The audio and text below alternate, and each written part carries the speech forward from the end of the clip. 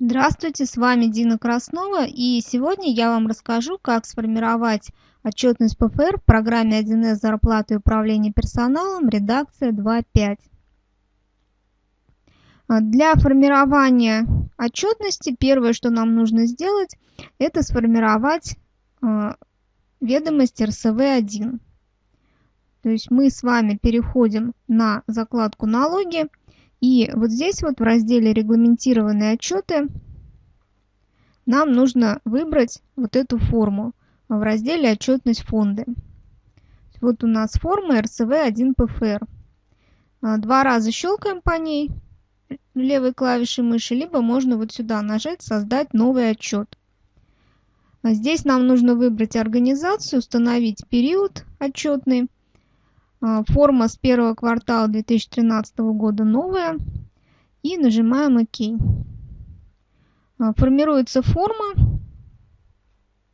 Здесь, естественно, все сведения на титульном листе. И для того, чтобы эта форма заполнилась, нам нужно нажать на кнопочку «Заполнить». Нажимаем «Да». А теперь форма заполнена. Если мы посмотрим, у нас здесь данные присутствуют. Не по всем разделам, потому что у нас а, не ко всем разделам относится а, наше предприятие. А, далее, что мы здесь можем сделать? Мы можем сделать выгрузку. А, выгрузить, а, либо проверить выгрузку. А, можно отправить. То есть отправить по каналам связи, если у вас подключен электронный документооборот в программе. Ну, например, программа 1С отчетность. А, в настройки, но здесь только можно свойства разделов задавать, то есть задавать, какие разделы показываются, а, какие разделы печатаются. То есть если не нужны какие-то разделы, то а, галочки убираются. Сейчас по умолчанию установлены все галочки. Поиск понятно, обновить и вот э, расшифровать. То есть можно любой показатель расшифровать. Например, вас интересует какой-то показатель, и вы хотите знать, откуда он вообще взялся. То есть даете на этот показатель, нажимаете «Расшифровать», и э, показатель расшифровывается. То есть откуда вообще данный показатель. Так можно по любому показателю делать, кроме итогового. А, далее можно поменять статус у данного отчета. То есть либо в работе, либо подготовлен, либо сдан. А, и, а, соответственно, печать, то есть либо печатать сразу, либо показать бланк. После этого нажимаем ОК. У нас отчет сохраняется в журнале. И в любой момент к нему можно вернуться, сделать отсюда же выгрузку, если нужно, печать, отредактировать и так далее. И переходим а, к персонифицированной отчетности с первого квартала. Там тоже произошли изменения 2013 года, поменялись формы немножко. А, для того, чтобы сформировать эту отчетность, нам нужно зайти на закладку ПФР а, и выбрать подготовка данных для ПФР. То здесь у нас установлена организация, установлен отчетный период, квартальная отчетность установлена и сформировать сведения. То есть вот здесь у нас все заполняется, а, заполняются а, пачки, заполняется вот здесь вот состав описи АДВ-6.2, а, ну и, соответственно, состав пачки с АДВ-6.5 тоже заполняется.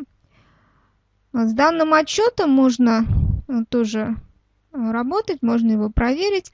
А здесь у нас есть стройная проверка, есть программа чек УФА, есть, есть программа чек XML. А, ну вот эти две программы последние, они должны быть предварительно, соответственно, установлены на компьютер, если вы хотите ими проверять. А, далее можно нажать печать. Мы с вами увидим формы. Ну, здесь а, форма ADV62 у меня вышла.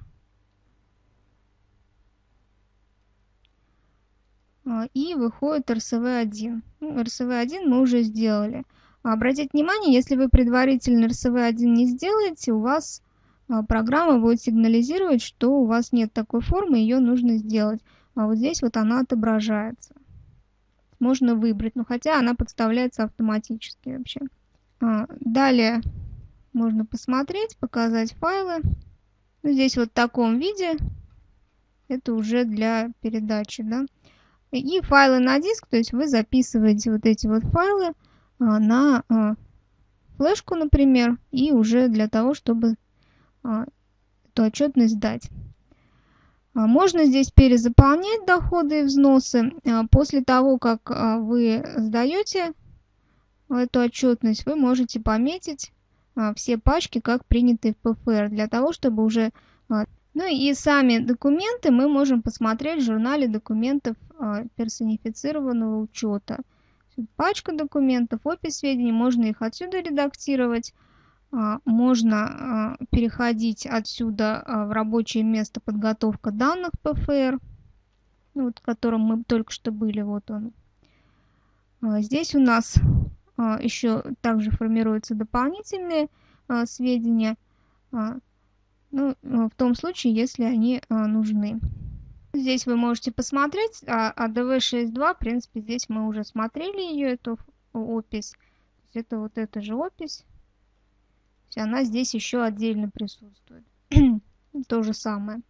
Вот так а, в программе 1С зарплаты и управление персоналом а, можно сформировать отчетность пенсионный фонд. А, с вами была Дина Краснова. До встречи в моих следующих видео.